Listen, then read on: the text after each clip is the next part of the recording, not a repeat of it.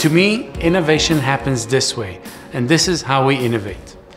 Each user journey team identifies touch points. Touch points are points where WeWork touches a member or a pre-member. Now, after identifying all of the touch points, let's say these are the touch points,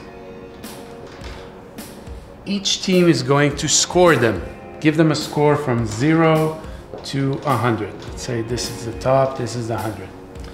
So connecting the touch points because they show up chronologically gives you a space here which is exactly where we want innovation to happen. So if we have ideas for any type of new products, spaces, or services, they have to solve problems in this area because if we got a score of, I don't know, 42 here, then we have a lot to improve. Our improvement will come from innovation in this area.